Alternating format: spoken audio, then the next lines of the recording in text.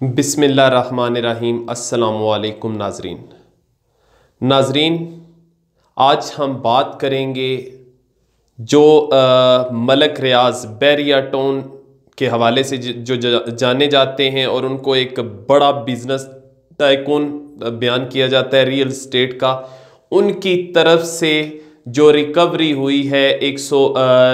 چھیانوے million pound کی۔ یا ایک سو نوے ملین پاؤنڈ کے لگ بھگ ہے ایک سو نوے، ایک سو چھیانوے ملین پاؤنڈ کی پاکستان کو جو ملیں گے برٹش گورنمنٹ کی طرف سے،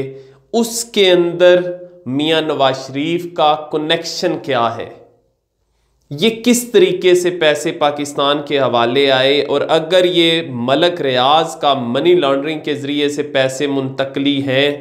کی گئی ہے وہاں پہ، اور معاہدے کے تحت اگر پیسے واپس آ رہے ہیں تو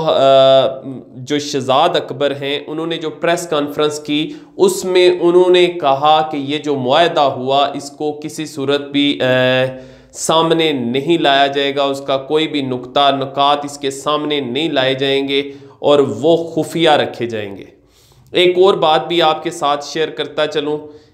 اس کے حوالے سے ہم اندر کی اپنا انیلسز پیش کریں گے، اندر کی جو سٹوری ہے، اس کو کھوجنے کی کوشش کریں گے۔ لیکن ایک اور بات بڑی خوش آئند حکومت کے لیے بھی، پاکستانیوں کے لیے بھی کہ بلوم برگ نے پاکستانی مارکیٹ کو نمبر ون قرار دے دیا سٹاک ایکسچینج کے حوالے سے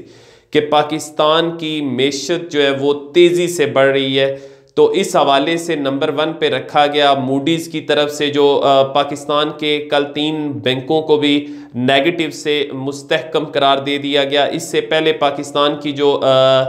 پاکستان کی جو سٹاک مارکیٹ کے حوالے سے تھا، اس کو نیگیٹو رکھا گیا تھا، اس کو بھی پازیٹیو قرار دے دیا گیا۔ تو اس طریقے سے بڑھتے ہوئے پاکستان کے معاشی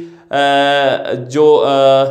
بہتری ہے، معاشی حالات میں بہتری کی طرف آنا اور ابتری سے نکل کے آگے کی طرف بڑھنا، یہ بہت ہی خوش آئند ہے۔ لیکن اس کا امپیکٹ جب تک لوگوں پہ نہیں پڑتا، عام عوام پہ نہیں پڑتا، جب تک لوگوں کو کی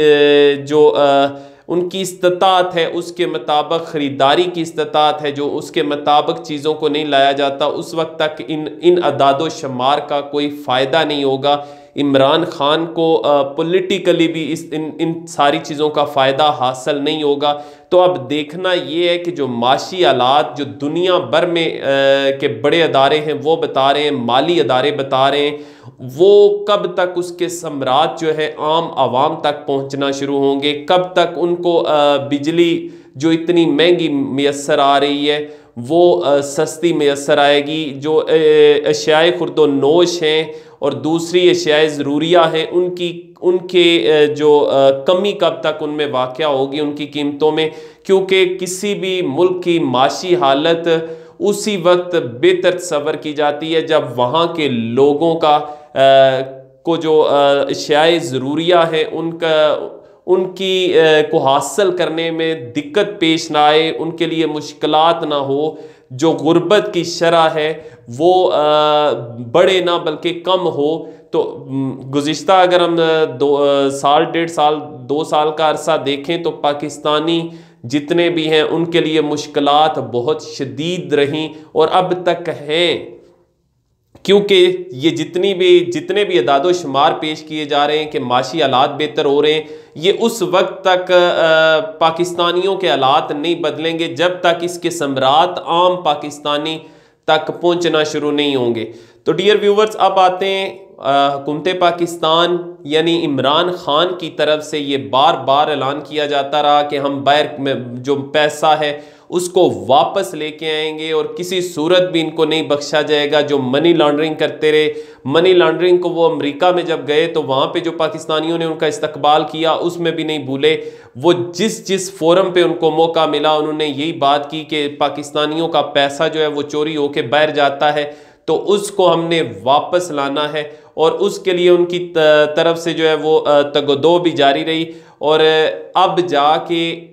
تقریباً ایک سو نوے ملین پاؤنڈ جو ہے وہ پاکستان کو ملنے جا رہے ہیں اور ایک سو پچاس ملین پاؤنڈ جو ہے وہ ایک سو چالیس ملین پاؤنڈ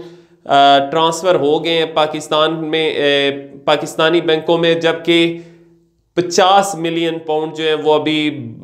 باقی ہیں جو گھر ہے اس کی، اس کو بیچ کے وہ ادا کیے جائیں گے۔ حکومت پاکستان کو یہ وہ بات ہے جو شہزاد اکبر معاون خصوصی جو ہیں وزیر اعظم کے اور جو پیسہ کی ریکوری کے لیے جو یونٹ قائم کیا گیا، اس کو بھی وہ دیکھتے ہیں۔ منی لانڈرنگ کے حوالے سے جو بھی پیسہ بیرون منتق، بیرون ملک منتقل ہوا، اس حوالے کو سے وہ خاصی ان کی متحرک دکھائی دیتے ہیں۔ لیکن اس کے حوالے سے یہ جو پیسے کی ریکوری ہو رہی ہے، ملک ریاض کے حوالے سے یہ اس میں بہت سے ابہام پائے جاتے ہیں، چیزیں کھل کے سامنے نہیں آ رہی۔ وزیر اعظم کی طرف سے اپنے وزراء کو اور اپنے ترجمانوں کو بھی روک دیا گیا کہ ملک ریاض کے حوالے سے اور یہ جو پیسہ ریکور ہوا ہے، اس حوالے سے بات نہ کی جائے۔ جس سے یہ بات کھل کے سامنے آتی ہے کہ اندرون خانہ کوئی ایسے معاملات ضرور طے پائے ہیں، جبکہ دوسری طرف ملک ریاض کی طرف سے بھی یہی کہا جا رہا ہے، ان کی طرف سے جو پریس ریلیز جاری کی گئی، ان کی طرف سے یہی کہا گیا کہ ہم نے کوئی کرائم نہیں کیا برطانیہ کے اندر، بلکہ ایک معاہدے کے تحت ہم یہ پیسہ جو ہے وہ دے رہے ہیں، جس کا ہم نے سپریم کورٹ میں وعدہ کیا تھا۔ تو ڈیئر ویورز ایک بڑا دعویٰ مختلف جرنلسٹ کی طرف سے بھی یہ کیا گیا۔ ان میں عارف امید بٹی صاحب نے موہید پیرزادہ کے پروگرام میں یہ کہہ کے یہ کہا تھا کہ یہ یہ جو اپارٹمنٹس تھے، جن کو بیچا جائے گا، یہ اصل میں یہ پراپرٹی حسن نواز کی تھی۔ حسن نواز کے ذریعے سے ملک ریاض نے اس پراپرٹی کو خریدا اور خریدنے کے پیسے بھی ملک ریاض نے نہیں دیے، بلکہ وہ حسن نواز نے ہی دیے۔ یعنی اپنی ہی پراپرٹی اپنے ہی پیسوں سے خرید کر ملک ریاض کے نام پہ کی۔ اور اب وہ چونکہ ملک ریاض کے نام پہ ہے، وہ پراپرٹی جو ہے وہ برطانیہ میں پکڑی گئی اور اس کو سیل آؤٹ کیا جائے گا اور سیل ہونے کے بعد اس کا بھی پیسہ پاکستان کو منتقل ہوگا۔ گویا اپنے آپ کو صاف کیا گیا اور اس کے لیے جو کندہ استعمال کیا گیا وہ ملک ریاض کا۔ میرے کہنے کا مقصد قطن یہ نہیں ہے کہ ملک ریاض جو ہے وہ بہت ہی اماندار ہیں یا انہوں نے، لیکن وہ ایک بڑے بزنس مین ہیں۔ انہوں نے دونوں طرف وکٹ کے دونوں طرف بہت ہی اچھی قسم کا شارٹ لگایا۔ ادھر سے پیسے کی ریکوری جو ہے وہ یعنی پولیٹیکلی حسن نواز مسلم لیگ نون اس کو گین کرنا چاہتی تھی، کسی صورت یہ نہیں چاہتی تھی کہ ان کے اوپر یہ یعنی اس کا ملبہ گرے۔ لیکن ملک ریاض سے جو پیسے کی ریکوری ہو رہی ہے بیسیکلی وہ ملک ریاض کا پیسہ ہے بھی نہیں۔ اور سپریم کورٹ میں ملک ریاض نے یہ وعدہ بھی کیا تھا کہ وہ ڈیم کے فنڈ کے لیے بھی پیسہ دیں گے اور اتنا پیسہ دیں گے جب جو سابق چیف جسٹس ہیں، ثاقب نثار، ان کے ان کے پاس جب یہ کیس چل رہا تھا تو اس دوران ان کو طلب بھی کیا گیا اور ان سے کہا گیا کہ آپ ڈیم کے فنڈ کے لیے کتنا پیسہ دیں گے، اتنا اگر پیسہ دیں تو ہم کیسز کے متعلق آپ کے سوچ سکتے ہیں۔ خیر، یہ ایک طویل کہانی ہے، اس سے نکلتے ہیں۔ لیکن اس سے پہلے کچھ خبریں یہ بھی آتی رہیں کہ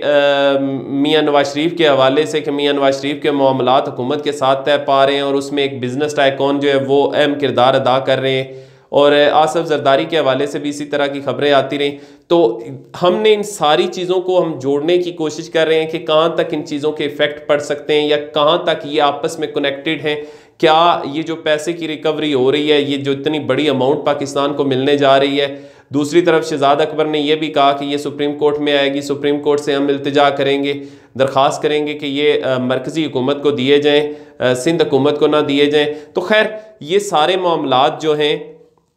دیکھنا یہ ہے کہ کیا یہ یہ جو پراپرٹی تھی میاں نواز شریف یا ان کے صاحبزادوں کی تھی اور وہ پکڑے جانے کے ڈر سے یہ پراپرٹی جو ہے وہ انہوں نے ملک ریاض کو سیل کی سیل بھی اس طریقے سے کی جو کہ دعویٰ کیا جا رہا ہے اور بہت ہی مستند قسم کے صافیوں کی طرف سے یہ دعویٰ کیا جا رہا ہے کہ انہوں نے خود ہی اپنے پیسوں کے ذریعے سے یہ پراپرٹی اپنی پراپرٹی بیچی، ملک ریاض کو وہ پیمنٹ بھی اپنی ہی طرف سے ہی کی گئی اور پھر اس کے بعد ملک ریاض کے نام پہ ہوئی اور اس طریقے سے جب وہ ملک ریاض کے پاس پہنچی تو اس کے بعد اس پراپرٹی کو جو ہے وہ برٹش گورنمنٹ کے پاس گئی اور اس کو بازیاب کروایا گیا حکومت پاکستان کے لیے۔ یعنی حکومت پاکستان کو وہ پے کیا جائے گا ریکوری کی جائے گی جتنی بھی پیسوں کی۔ یعنی اس کا مطلب ہے کہیں نہ کہیں یہ اندرون خانہ یہ چیز ثابت ہو چکی ہے کہ یہ پیسہ منی لانڈرنگ کے ذریعے سے پاکستان سے منتقل ہوا۔ تو کیا یہ اس کا تعلق میاں نواز شریف کے بیرون ملک جانے سے بھی ہے؟ کہ تیسری طرف سے یعنی الگ تھلگ فورم استعمال کیا گیا اور اس کے ذریعے سے لیگلائز کر کے پیسے کو پاکستان میں منتقل کیا جا رہا ہے۔ لیکن پیسہ بھی اب تو بالکل کافی حد تک واضح ہو چکا کہ پیسہ بھی جو ہے وہ میاں نواز شریف اینڈ سنز جو پوری کمپنی ہے انہی کا ہے اور آیا جو ہے وہ بدنام جو ہے وہ ملک ریاض صاحب ہو رہے ہیں اور دوسری طرف وزیر جو میاں نواز شریف ہیں، ان کو وہ سہولتیں ساری میسر آ چکی جو کہ وہ چاہتے تھے کہ ہم، میں کسی بھی طریقے سے بیرون ملک روانہ ہوں اور لوگوں کے سامنے یہ بھی رہے کہ میں نے ایک روپیہ بھی نہیں دیا، ایک پیسہ بھی نہیں دیا۔ تو کیا یہ اندرون خانہ وہی سارے معاملات تھے؟ یہ یہ چیزیں جو ہیں وہ دیکھنے والی ہیں اور ان کڑیوں کو ملایا جانا ابھی دیکھتے ہیں کہ آگے یہ ممکن ہوتا ہے۔ لیکن ڈیئر ویورز، جس شخصیت کو اس میں انوالو کیا گیا ملک ریاض اس پہ میڈیا جو ہے وہ کم از کم بالکل بھی نہیں بولے گا اور یہی وجہ ہے کہ اتنی بڑی خبر اور بڑے بڑے میڈیاز جو چینلز ہیں، ان پہ ایک بڑی شخصیت، ایک بڑے بزنس ٹائکون جن کا ریئل اسٹیٹ سے تعلق ہے، اس طرح کی خبریں چلائی جاتی رہیں، لیکن یہ نہیں بتایا گیا، نام نہیں لیا گیا کہ بیریا ٹون کے جو جو چیف ایگزیکٹو ہیں یا بیریا ٹون سے تعلق رکھنے والے ملک ریاض جو ہیں، کیونکہ پاکستان میں اور دنیا بھر میں ملک ریاض کو جانا جاتا ہے بیریا ٹون کے حوالے سے ان کی طرف سے جو پیسے کی ریکوری ہو رہی ہے جو برٹش گورنمنٹ کی طرف سے پاکستانی گورنمنٹ کو پیسہ لٹایا جا رہا ہے، جو پاکستانیوں کا ہی پیسہ ہے، اصل میں بیرون ملک چوری کر کے لے جایا گیا۔ وہ پیسہ جو ہے، وہ واپس پاکستانیوں کو مل رہا ہے۔ تو یہ ایک خوشائند بات ہے، لیکن اس کے پیچھے بہت سے حقائق چھپے ہوئے ہیں، جن کو بھی کھوجنے کی ضرورت ہے۔ اور یقیناً یہ کسی اندرون خانہ ڈیل یا کسی بھی سیٹلمنٹ کا نتیجہ ہی نظر آتا ہے۔ جب تک مزید حقائق سامنے آتے ہیں اس پہ ہم مزید بھی آگے چل کر بات کریں گے۔ ہم اس پہ کوشش کر رہے ہیں کہ جتنے بھی فیکٹس ہیں، ان کو ملا کے، ان کی کڑیاں ملا کے دیکھا جائے اور اس سٹوری پہ کام کیا جائے۔ فی الحال اتنا ہی۔ آپ لوگ بھی میرے جتنے بھی ویورز ہیں مکسڈ انفو ٹی وی کے ہمارا چینل سبسکرائب کریں اور اس پہ غور کریں کہ کس طریقے سے یعنی جب پیسہ ریکوری ہو اور وہ حکومت ہو پی ٹی آئی کی جو دس روپے ریکور کرنے پہ بھی اتنا زیادہ شور مچاتی ہو کہ دیکھیں ہم نے چوروں سے اتنے پیسے پکڑ لے پکڑ لیے اور پھر اس کے باوجود اس معاہدے کے اوپر شہزاد اکبر صاحب کی طرف سے یہ کہا گیا کہ خاموشی اختیار کی جائے گی، اس معاہدے کو پبلک نہیں کیا جائے گا، اس کے پوائنٹس پہ بات نہیں کی جائے گی۔ کیوں نہیں کی جائے گی؟ کیا اندرون خانہ، یہ بھی کوئی معاملات اسی سے جڑے ہوئے ہیں میاں نواز شریف کے سے، یا پھر اس میں کچھ اور؟ یعنی اس کہانی کے اندر بھی بہت سی کہانیاں چھپی ہوئی ہیں۔ اب تک کے لیے اتنا ہی، مجھے اجازت دیجیے اللہ حافظ۔